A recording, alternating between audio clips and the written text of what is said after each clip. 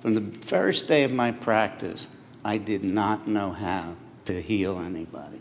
And I thought it was my, I blamed me for not knowing how to talk, take care of my very first patient, inpatient, who was, had a psychotic experience and some other strange thing called alcoholism, which I assume was just incorrect.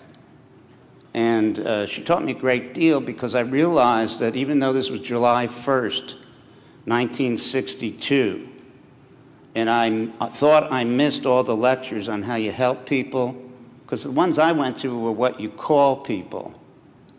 And I did take all those courses and stuff but in med school, but holy crow, I must have missed how you, what do you do about it? So I ran to this library at the Institute, which was world famous. I looked up everything I could on treatment and couldn't find anything on how do you treat persons with schizophrenia. Lots of stuff on how you read, you know, diagnose and then break down and all these different sublabels and all that, but nothing uh, except one book by a, a, a woman, a Swiss psychoanalyst named Sechehaye. I can't imagine anyone would ever know this. And she wrote a book called Symbolic Realization. It's a pretty title.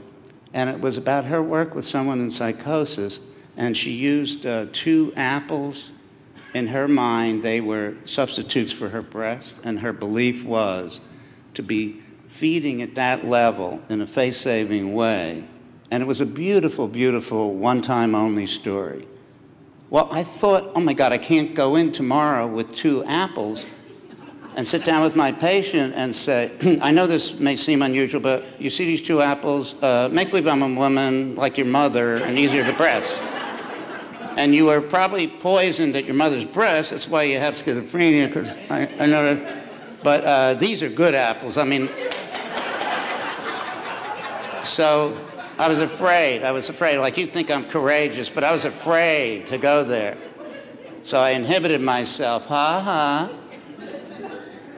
Although I'm using the story many years later, aren't I? So, so anyway, I kept thinking, well, I got to fake it till I make it. I mean, that phrase wasn't around in my world. I've got to be her doctor because she believes in me.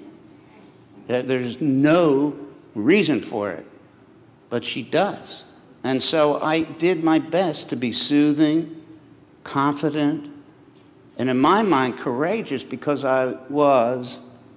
It was improv theater and I had no mo- role models for what I was doing, except probably stuff I'd seen in the movies or something about how doctors behave or something. My father was a doctor. I saw what elegant physicians do that's healing in his practice of obstetrics.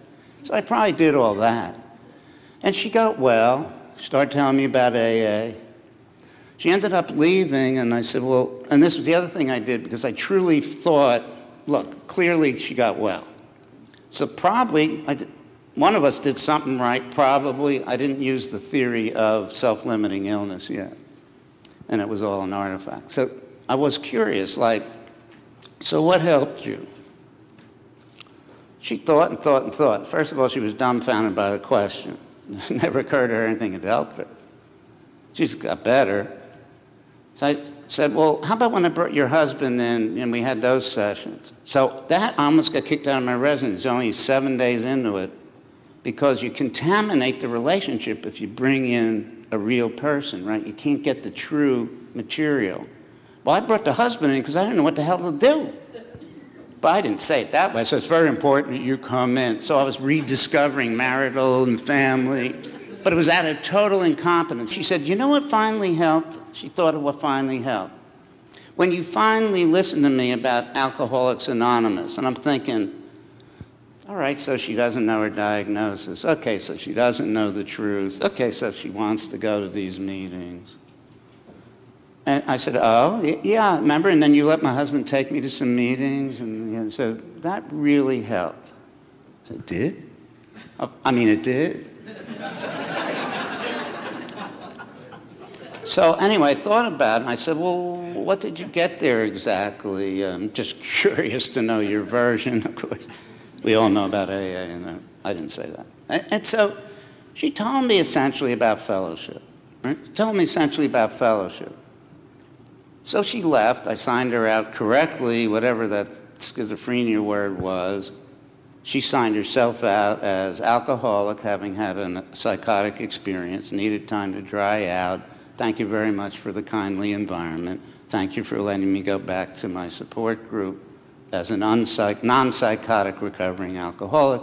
So she leaves with that preposterous formulation, and I believe, and I leave thinking, it's amazing people can get well when they don't know what the right diagnosis is.